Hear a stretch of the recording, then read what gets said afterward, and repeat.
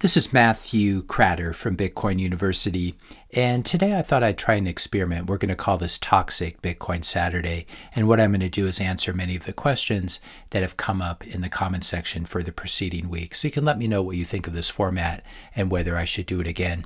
We're going to start with a question from Kevin Dula 9832. This person, Kevin, I believe, is actually criticizing XRP. He's saying, hey, there are some people that are saying XRP is decoupling from BTC fools. And I agree with Kevin if that is indeed what he's saying is a critique of XRP. My response to him was this XRP is a centralized shitcoin. My dog's crap in the backyard is decoupling from Bitcoin too, but not sure why that matters. As I've said before in this channel, correlations come and go. Pay attention instead. It's very important to pay attention instead to the underlying fundamentals of the asset, especially if you plan on holding it for more than a few weeks or months. Bitcoin is very, very different from fiat money. It's very different from altcoins and tech stocks and bonds, etc. Though at times it may be correlated with some of them. I remember over the past couple years people saying Bitcoin is just a tech stock. It actually is not a tech stock. It's not equity. It is not equity in a corporation. And at times it's been correlated with risk assets like tech stocks, but it's very, very different. And over the long term, fundamentals do matter. Bitcoin is a one of a kind, scarce digital asset. So whether XRP is decoupling from Bitcoin doesn't really matter because XRP is a highly centralized shitcoin. Here is a comment from Wargasm54. I'm a no coiner. I only hold Solana, which by the way is up 80% in three weeks. You notice how he picks the time frame for this rather than noting how much it's down from the highs. I don't hate Bitcoin. I just don't want to deploy that much capital for a meager 4 to 5x. I've seen this sort of comment before. It always ends in tears, unfortunately. So my response to him was, so you're jumping in and out of shitcoins, paying short-term cap gains taxes in an effort to increase the amount of fiat that you own. You do you. Here's a reminder, if you trade shitcoins, altcoins, you are guaranteed to underperform Bitcoin over the long term, especially if your holding period for these trades is less than a year and you're paying short term capital gains tax rates, which are equal to your bracket, your top bracket for income taxes, at least in the US. Everyone seems to think that they can trade altcoins to make more Bitcoin, but it never works out that way over the long term. If it's worked out that way for you so far, you haven't been clever, you've just been lucky, and it's best that you recognize this right away. And also recognize that if you keep doing this sort of activity, one of these days you are going to give it all back, guaranteed. I've seen this happen many times for commenters in the channel. You might also get caught holding the bag like holders of FTT, which was the FTX exchange coin, Luna, etc. It just takes one of these to wipe out huge amounts of your capital. And there's no guarantee that you'll be able to get out in time, especially if it's a game of musical chairs like crypto is. Diversifying your capital across different piles of dog crap is not diversification, it's diworsification. It's still dog crap that you are holding your coins could be easily, easily be frozen or lost by the crypto exchange while you're waiting for your fiat gains. So it's very important, and you'll eventually get to this level if you spend enough time in the space. It's very important to value your wealth in Bitcoin. Don't value it in altcoins. Don't value it in gold or real estate or fiat. Value your wealth in Bitcoin, and your wealth is going up if you are increasing your stash of Bitcoin, of sats over time. Here's an important reminder as well. If you're not holding Bitcoin in cold storage on a hardware wallet or in multisig, you are not ready for what's coming. Don't assume that you'll always be able to trade out of your alts or fiat into Bitcoin and then withdraw to a cold storage solution. That window is rapidly closing, as I discussed in Thursday's video. You're running out of time, which I'll link to in the description notes below. If you're enjoying this video so far, I just ask you to hit the subscribe button, hit the like button, leave a comment, and share this video. Here's a comment from Mr. Pulpez. I think gold bugs are right when they say that gold is superior to superior than Bitcoin is superior to Bitcoin as a store of value. Bitcoin price keeps going up. That's just a terrible thing, isn't it? Bitcoin price keeps going up while the price of gold remains more or less stable. My response, did you forget about inflation?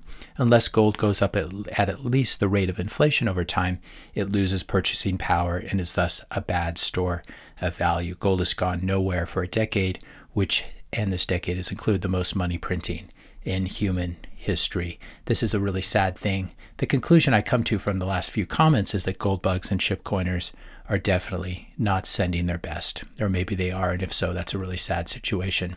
Here's a comment from uh, Sergey Anglinov 9722, and he's trying to pump Litecoin, obviously LTC. He says everyone tends to flock to digital silver and digital gold, Litecoin and Bitcoin when things aren't going well. Litecoin is basically the same as Bitcoin. Actually, it's not. It's a completely different asset that trades on a completely different network.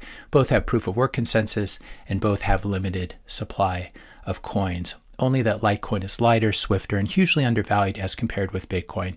Hugely undervalued, that is an assumption, as we'll see. Litecoin being a digital commodity provides a decent inflation hedge, not a great inflation hedge, obviously, as well because there will be mined only a limited number of 84 million Litecoins in total. My response to him don't forget to tell the folks how Litecoin keeps losing value against Bitcoin, how the silver gold thing is just pure marketing because Bitcoin is highly divisible. This is something you'll often see for Litecoin or Casper, some of these. They say Bitcoin is gold and my crypto that I'm trying to dump on you is silver.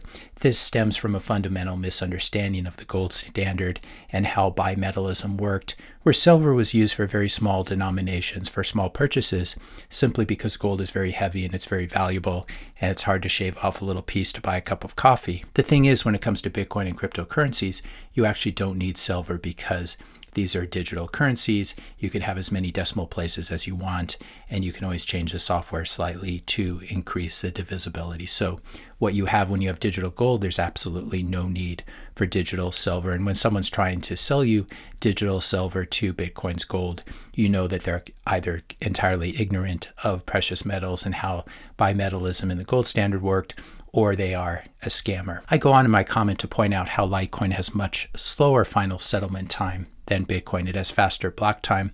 I believe it's every two and a half minutes you get a new block compared to Bitcoin, which gets a new block every 10 minutes. But when it comes to final settlement, in other words, having a reasonable assurance that your transaction will not be reversed and the block rewritten and orphaned, uh, Bitcoin has a much faster settlement time. In fact, Litecoin, as I point out, has even slower settlement than Doge, which is pretty pathetic. If we take a look at Litecoin versus Bitcoin, when this chart moves down, that means that Litecoin is losing value against Bitcoin. It's been absolutely brutal, and the more you scan out, uh, scroll out, the more brutal it gets. So if you're holding Litecoin, you really don't know what you're doing, especially if you think it's silver. And as I said, it has much slower settlement times than Bitcoin. Litecoin is 17 times slower than Bitcoin, as is Dogecoin. Litecoin, the equivalent settlement period is 16 hours and 52 minutes for uh, compared to Bitcoin, where the final settlement uh, time is close to an hour, about 58 minutes based on recent block times. And it's funny to see here Bitcoin Cash, Bcash, has uh, is even slower than any of these, even though it uses the same proof of work algorithm SHA-256 as Bitcoin, but it takes it's 144 times slower than Bitcoin. It takes five days and 20 hours to get the same final settlement uh, finality that you would get with Bitcoin. So don't be fooled by all of these metaphors of digital silver to digital gold. We have a comment here, a great video. So is the Coinbase wallet true cold storage? It says if you lose the 12 word key code, it's gone forever. But does that make it actual cold storage or them not being able to control it? I think this is a great question. He's referring to the Coinbase wallet, which is a software wallet that you can download. Unfortunately, this thing also uh, provides uh, storage for crypto and NFTs, etc. So it has a wider attack service surface. If we take a look here, we can see we can download it for iOS, for Android, or for Chrome as a Chrome extension. So the problem with this, this is a software wallet. It's a hot wallet. And this is why the Coinbase wallet should not ever be used for Bitcoin cold storage. Here are the number of reasons. First of all, it's made by Coinbase, which is a crappy crypto casino whose main business model is wrecking consumers by getting them to trade dog coins or lock up their ETH with them. So it's not a very credible company. Number two, the Coinbase wallet also handles shitcoins, as we said, altcoins, and NFTs, and thus has a wider attack surface surface than Bitcoin only wallets. Number three, it's not open source, so who knows what lurks inside the code. Number four, it's a hot wallet. In other words, it's connected to the internet because you download it on your phone, which is almost always connected to the internet or a web browser. And even if you have a phone, you're using it online, uh, you're using it completely offline, I should have said. At any point, if you accidentally turn it on, you could lose your Bitcoin because then it has a momentary connection to the internet. You should never store large amounts of Bitcoin in a hot wallet which is a wallet that is connected to the internet or could be easily connected to the internet. Hot wallets should never be used for cold storage. That's why they're called hot wallets, and that's why cold storage is cold, called cold storage. Cold storage, as we said, means no internet connection and your private keys never touch the internet. So use a Coldcard hardware wallet or a Blockstream Jade hardware wallet instead. And with these hardware wallets, which are Bitcoin only wallets, your private keys never touch the internet. In other words, all the signing of transactions when you move your Bitcoin is done offline inside of the wallet. Coinbase Wallet, I thought this was a funny note that I wanted to highlight. As of January 2023, Coinbase Wallet will no longer be supporting the following assets and networks due to low usage Bcash, uh, ETH Classic, XLM, and XRP. So this tells you Coinbase is obviously a very profit motivated corporation, and this tells you what the real activity is for these coins. They're basically dead coins that no one is using. Even Coinbase doesn't want to offer support them for them anymore in its Coinbase wallet, which is pretty funny. Finally, I wanted to talk about this comment, this response to my video, You're Running Out of Time with Bitcoin, where I talked about how there could be various parallel systems. There could be Bitcoin that's sort of trapped inside of the US banking system, so you're not allowed to withdraw it from Coinbase, but you would be allowed to send it to JP Morgan or Wells Fargo or Bank of America or something like this. And this is why it's very important to withdraw your Bitcoin before this bifurcation happens. Escobar del Rio responded, Scary to think that some Bitcoin may be permanently trapped in the legacy financial system. And I responded, I don't think it's quite that bad. It won't be trapped there permanently because the fiat financial system will fail as well. The US government will spend or lose Bitcoin too, as well the banks. Here's the thing lots of people, corporations, countries are going to do lots of different things with Bitcoin. It's an open, permissionless network, an asset that anyone can use as they see fit. We can't stop them, nor should we want to, because this is free money, it's neutral money, and you should be able to do what you like with your own money that you control the keys to. Bitcoin is neutral money for the world, and a lot of it is going to end up trapped inside of various places like the US banking system, getting trapped on Apple Pay, for example, at Coinbase Custody, which is going to be the backing, the custodian for the BlackRock Bitcoin ETF, etc. Will it stay trapped trapped there forever? No, definitely not. A lot of it is going to be withdrawn, it's going to be stolen, it's going to be lost, there are going to be hacks of these custody solutions.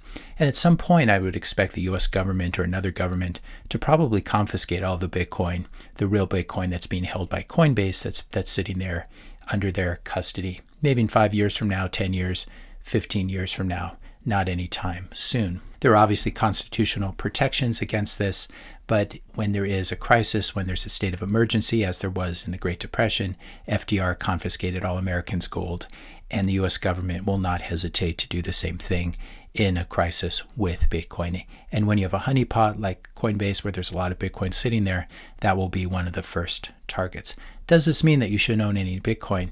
On the contrary, it means that you should actually own as much Bitcoin, as much real BTC as you can while you can still front run the US government. The US government has something like 150,000, 200,000 Bitcoin. They're still auctioning them off. They have no idea what they're doing. But at some point, the US government's going to become very greedy and they're going to want your Bitcoin and everyone's Bitcoin. And if it's in your own hardware wallet, if it's in cold storage and you control the keys, they're not going to be able to get it from you. They can steal it from a few people, but they can't go door to door and steal it from millions and millions of people by putting a gun to their head. Just don't leave your Bitcoin on Coinbase. Don't hold a Bitcoin IOU like the BlackRock ETF. You should hold the real thing in cold storage, either in multi sig or single sig on a hardware wallet. And if any Bitcoin is indeed permanently lost, as will probably happen if the keys are lost, this would only serve to increase the value of each person's BTC holdings in a pro rata fashion. It's a little bit like a donation to the network when Bitcoin is lost or when people uh, destroy their private keys and the Bitcoin cannot be moved again. Bitcoin is like gold in many ways, although much better, much more portable, much easier to assay, etc. Bitcoin, like gold, is money for everyone, including enemies. So when we talk about how Bitcoin may be permanently trapped in the legacy financial system, this is of course true for gold as well, and it doesn't hurt its value at all. We have China stacking gold. We have North Korea stacking gold. There's nothing we can do about it. Eventually their gold will be lost or stolen or spent or sink to the bottom of the ocean or something like this. But gold is neutral money as well. It's very bad money compared to Bitcoin. But this is the analogy. There's gold trapped in lots of different places. There will be Bitcoin, quote unquote, trapped in many different places. But this is what happens with money. People want to hoard it, people want to spend it, people want to accumulate it. Just in case you're wondering about gold versus Bitcoin, I want to remind gold bugs who are watching this that gold has been a very, very terrible investment versus Bitcoin. It's basically gone to zero against Bitcoin, and this will continue. So make sure you're not holding uh, fake, old fashioned, old monetary technology, which is yellow shiny rocks, also known as gold. But you should be holding BTC and you should be holding your own private keys. You should hold it on a hardware wallet where no one, not even the US government or any other hostile government, can take it from you. Be sure to hit that subscribe and like button. Hit the notification bell if you want to be notified when I publish my next video. And let me know your questions and comments in the comment section below. Especially let me know if you enjoyed this format. Thanks a lot for watching, and I'll see you in the next video.